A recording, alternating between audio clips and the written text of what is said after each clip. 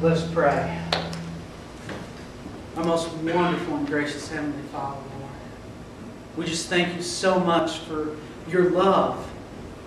That, that you loved us to send Jesus just so that we could have a relationship with you. That we could worship you. And that you could be our heroes. Our hero.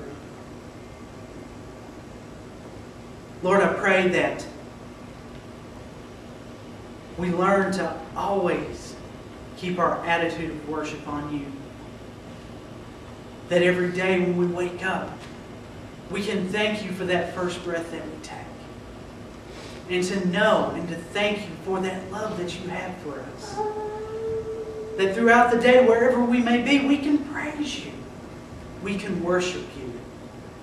And we can give ourselves to you in all that we do. Lord, as we sing another song now, search our hearts. Help us get our attitudes towards you. Our attitudes fixed on you, fixed permanently on you, so that we can know your love more. So that, as you commanded, that we love you with everything that we are.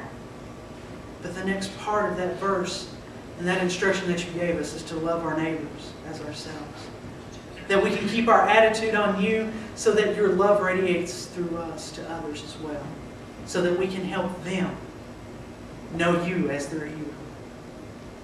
Lord, as we sing, know that our attitude, our focus, and our worship is for you. The splendor